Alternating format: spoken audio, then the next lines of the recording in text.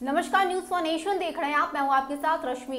नेता प्रतिपक्ष तेजस्वी यादव से मुलाकात करने के बाद चिराग पासवान सीधा जतन राम मांझी के पास पहुँचे हैं।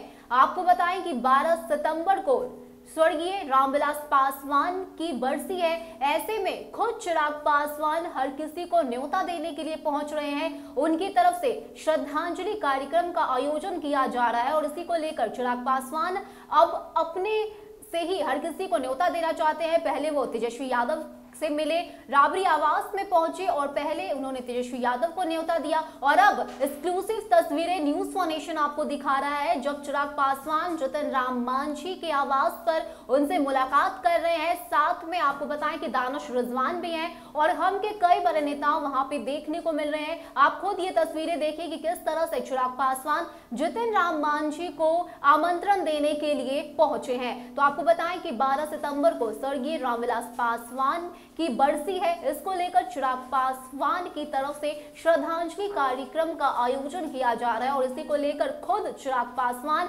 हर किसी को न्योता देने के लिए पहुँच रहे हैं। आपको बताएँ कि चिराग पासवान ने भी खुद कहा कि मैं हर किसी से मिलूँगा और मैं सभी राजनीतिक दलों के नेताओं को न्योता दूँगा ताकि वो रामविलास पासवान के बरसी पर पहुँच सके। तो ये एक्सक्लूसिव तस्वीरें न्यूज़ फाउंडेशन आपको दिखा रहा है जब चिराग पासवान रतन राम मांझी से मुलाकात कर रहे हैं। आपको बताएँ कि इससे पहले वो तेजस्वी यादव से मिले और कई तरह की बातें भी वहाँ पर देखने को मिली। एक तरफ़ तेजस्वी यादव की तरफ़ से ये भी कहा गया है कि अब वो चिराग पासवान के साथ रहेंगे। चिराग पासवान को अपना समर्थन देंगे। तो वहीं अब ये भी तस्वीरें निकलकर सामने आई जब सीधा राबड़ी आवास से निकलकर चिराग पासवान जतन राम मांझी के आवास पर पहुँचे हम के कई बड़े नेता वहाँ पर मौजूद हैं। दानिश रिजवान है, जतन राम मांझी है और वहाँ पर खुद चिराग पासवान न्योता देने के लिए गए हैं। तो रामविलास पासवान की बरसी को लेकर बड़ा आयोजन चिराग पासवान की तरफ़ से किया जा रहा है। आपको बताएँ कि 12 सितंबर को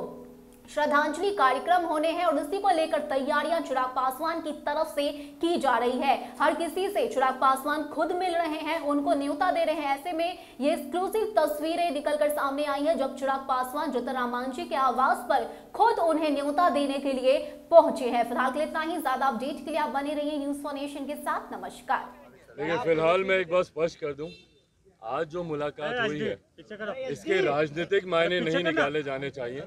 ये मैं आप लोगों से आग्रह करता हूँ जैसा इन्होंने भी कहा आज एक व्यक्तिगत तौर पर एक पारिवारिक कार्यक्रम। उसके लिए मैं इनको आमंत्रित करने आया हूँ।